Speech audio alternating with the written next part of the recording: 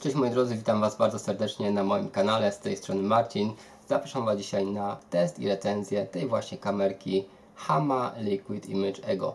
Oficjalna cena podawana przez producenta na stronie Hama Polska to 799 zł. Natomiast jak dobrze poszukacie, może się okazać, że da się ją kupić troszkę taniej. W ostatnim czasie mieliście okazję zobaczyć kilka filmów testowych. Nagrywane były różnie. Jedne filmy były kręcone po prostu z ręki trzymając kamerę. Były filmy na ramię roweru, gdzie ta kamera niestety sobie troszeczkę nie poradziła. Były filmy z kasku, gdzie już było dużo lepiej oraz inne ciekawe filmy testowe. Tak więc to wszystko jeszcze będzie przypomniane w tej recenzji, a teraz sobie rzucimy okiem na samą kamerę. Zapraszam do oglądania.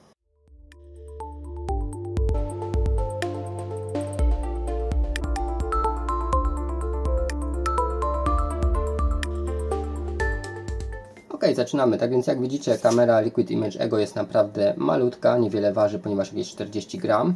E, jeśli mamy ją na przykład na kasku, to praktycznie nie odczuwamy tej wagi. Kamerka wykonana jest dobrze, obudowa jest naprawdę solidna. Mamy oczywiście gwint na statyw.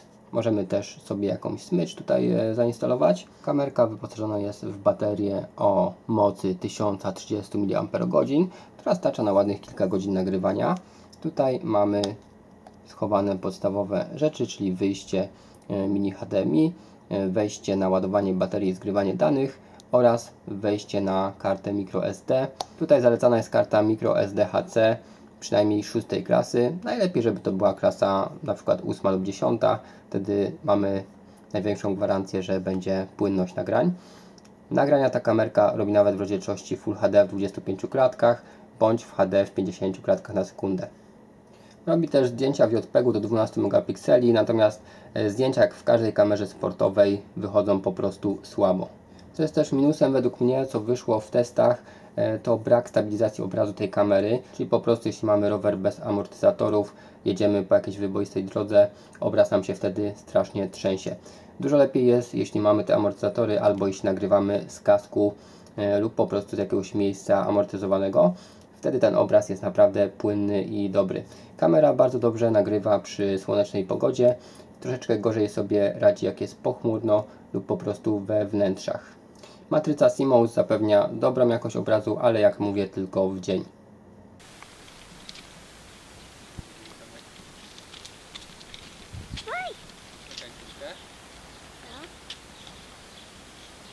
Dobrze masz chomik? Nie spada?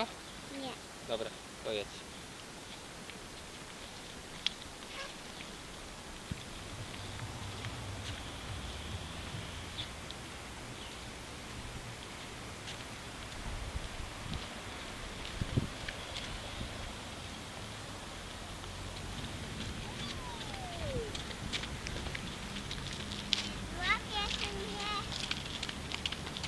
nasu.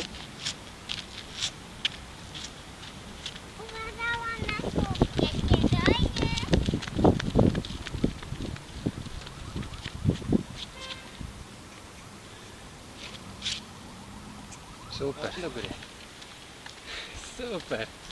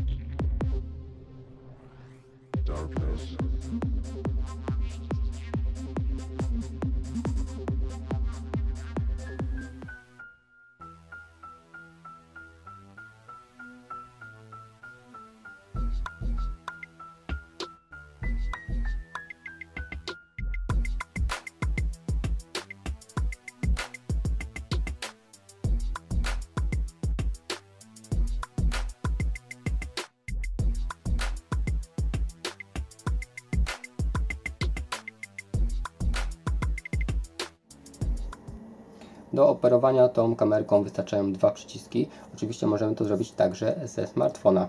Możemy na Androida bądź iOS-a pobrać aplikację i poprzez Wi-Fi sterować tą kamerą z naszego telefonu czy tabletu. Kamera przede wszystkim, jak słyszeliście, informuje nas sygnałami dźwiękowymi o jakiejś akcji oraz też diodą. E, Kolory diody odpowiadają różnym funkcjom. Więc piknięcie oznacza, że uruchomiliśmy jakąś funkcję i kolor diody informuje nas także o tym, jaka to jest funkcja. Jest ich tylko kilka, więc można się tego łatwo nauczyć. Z przodu widzicie też przy okazji mikrofon mono. Dźwięk w tej kamerce moim zdaniem jest e, również taki sobie, nie ma rewelacji i jest on dość cichy. Natomiast sam wyświetlacz, jak widzicie, jest dość mały. Jeśli sobie zbliżymy, to widzimy e, szczegóły, chociażby 720p, czyli rozdzielczość, stopień naładowania baterii oraz też mamy liczbę nagranych plików. Do nagrywania służy drugi przycisk, natomiast przyciskiem Power możemy zmieniać także kolejne funkcje. Przełączyć na 1080p, na tryb zdjęciowy. Możemy także włączyć filmowanie ciągłe. Przy okazji, moi drodzy, małe sprostowanie, e, ponieważ jeśli chodzi o tryb nagrywania, to jest to 30 klatek w rozdzielczości Full HD, a 60 w rozdzielczości HD. Więc wracając tu do wyświetlacza, wszystkie podstawowe funkcje widzimy, informuje nas dźwięk, informuje nas dioda, natomiast wyświetlacz jest malutki i w żaden sposób nie jest podświetlany. Dlatego po prostu jak y, mamy odpowiedni kąt widzenia, mamy światło, to widzimy. Natomiast jak jest ciemno, po prostu nic nie zobaczymy. Musimy wtedy posiłkować się tylko tymi dźwiękami i diodą. Jeśli chodzi o kąt patrzenia tego obiektywu, to wynosi on 175 stopni. Kąt jest całkiem szeroki. Oczywiście mamy typowy efekt rybiego oka.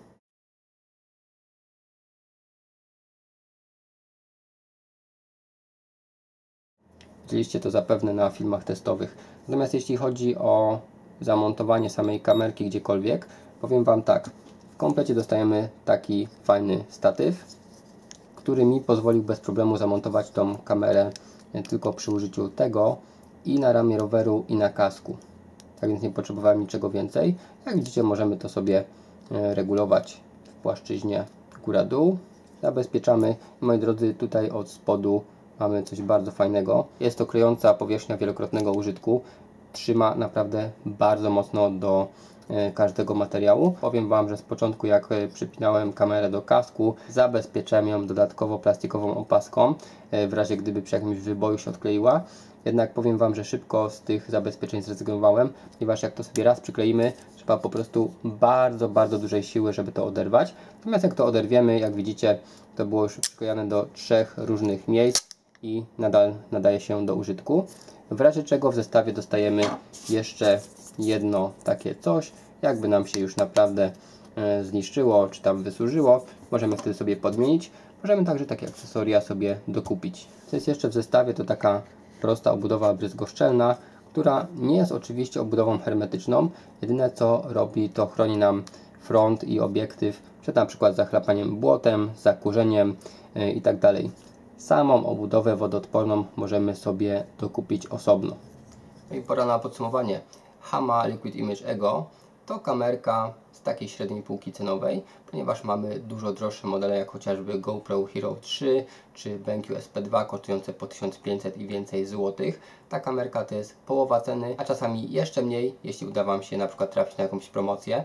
E, tak więc funkcje w stosunku do tych większych braci ma troszeczkę okrojone, ale jak za tą cenę myślę, że sprawdza się całkiem nieźle. Słyszeliście w recenzji o mankamentach, słyszeliście także o zaletach, dlatego decyzję pozostawiam Wam. Ja ze swojej strony powiem tylko, że mi tą kamerkę się testowało bardzo przyjemnie i myślę, że jeszcze troszeczkę mi posłuży. Tak więc dziękuję Wam bardzo za obejrzenie tej recenzji i pozdrawiam Was, cześć!